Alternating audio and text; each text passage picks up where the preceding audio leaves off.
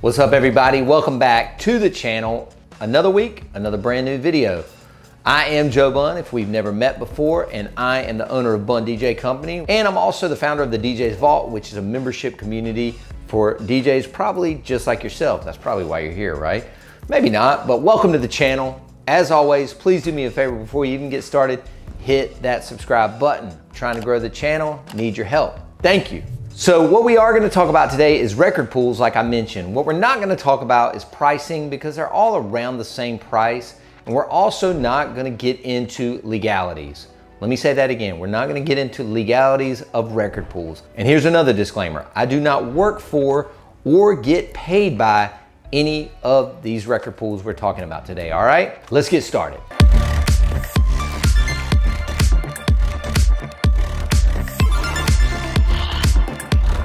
So as you know, being a good DJ means you better have really good music. So where do we get our music these days? Things have changed so much over just the past few years, in fact.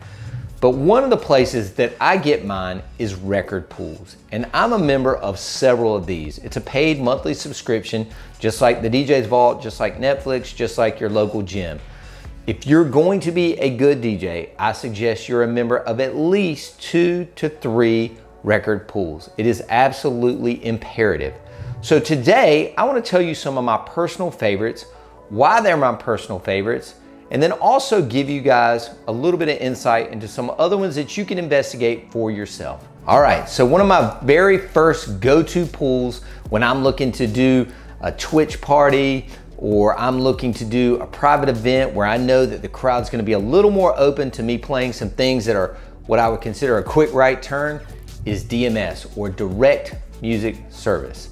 This is an awesome pool run by my friend Warren out of Las Vegas. I love the editors they have on this site so much. They got Scooter, they got Fusamania, they got Jason Jani, they got Drew Pierce. Like the editors alone that are making these mashups and these special edits are so high level that I can go on there, look at the new releases, pull some of that stuff and blow people's minds. DMS. Second pool that I always go to when I'm looking for the hotness, BPM Supreme out of San Diego, California. Another incredible record pool, probably one of the best done websites and apps and user experiences that you're gonna find out there. One of my favorite things that I love from them is the quick hit clean versions of songs. These are usually like a minute and a half, two minutes. If you're a quick mixer on Serato like I am, these are so easy to get into with that little intro and so easy to get out of with that little outro. Again, BPM Supreme is another one for you to take a look at. Before we go any further today, I've got a bonus tip, so make sure you watch till the end of this video. Another one of the pools that I'm really into is Heavy Hits. Heavy Hits, again, has some of those rare edits and mashups and mixes that DJs everywhere aren't playing so that you don't sound like everybody else, especially if you're on Twitch like everybody is these days. So again, check out Heavy Hits. Next up is what I would consider to be the granddaddy of the record pools. It's promo only. I used to literally stand by the mailbox every month and wait for the CDs to come that they were gonna ship out. Now, of course, everything is digital, but this is the grandfather of all the record pools. This is where you're gonna find most of your back catalog. This is where you're gonna find most of the library, things that you're missing, even your first dance songs that you need, and so on and so forth. Promo only out of Orlando, Florida. I do wanna mention a few other pools that I've been a member of in the past. So you got Chartbusters, you got X-Mix, you got Extendamix, you got Crate Gang, you got Late Night Record Pool.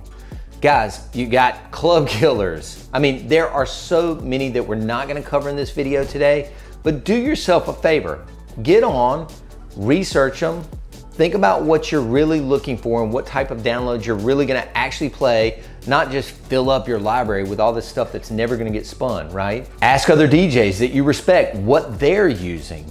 And never be afraid to just pull the trigger and get a month to month subscription. Maybe don't buy the entire year. Maybe you just buy a month. Get on there, see if you're really downloading from it, see if you're really playing the songs that you actually do download that's probably your best bet. And again, I think every DJ watching this should have at least two to three record pool subscriptions. Imperative, please do that. I will mention a couple of other sources for music here before I wrap this video up.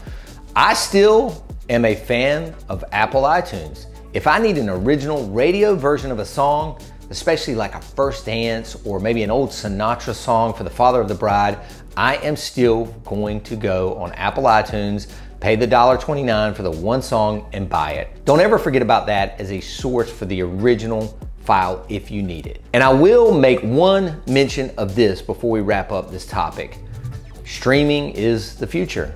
Serato and Tidal work hand in hand right now. Am I gonna go out and do an entire party using Tidal with Serato? No, but if I had a bunch of dinner music, say, that the father of the bride put in, classic rock songs that I knew I was never going to need to own, I would probably use Tidal and play that whole dinner set right from Tidal through Serato. So streaming is definitely the future, but again, you really need to have the files on your hard drive if you're gonna be a pro DJ right now.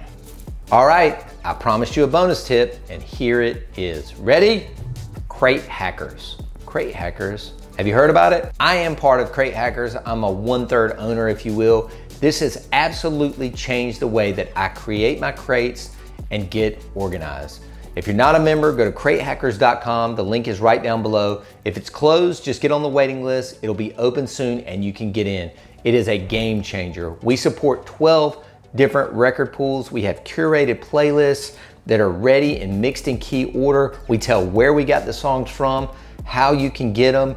And again, the app now literally takes the entire crate, organizes it, click of a button, boom, throws it over into Serato. Mind blowing. We are constantly coming out with new editions of the app. So again, cratehackers.com, link is down below.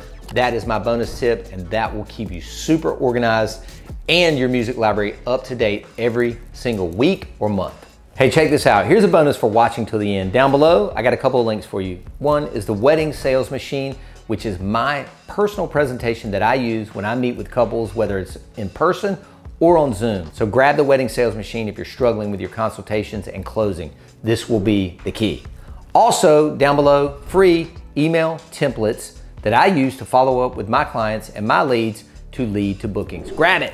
Okay, that's it. Another episode in the can. If you have any questions about music organization or where I get my music from, just comment down below and I will absolutely respond personally. I love to see your comments. I always go through them every single week after the video drops. Also, give us a like. Thank you. Hit the bell so you know when the new videos are coming out. Make sure you're subscribed to this channel because what happens every Thursday? Brand new stuff. Thank you guys for watching. I'll see you next week.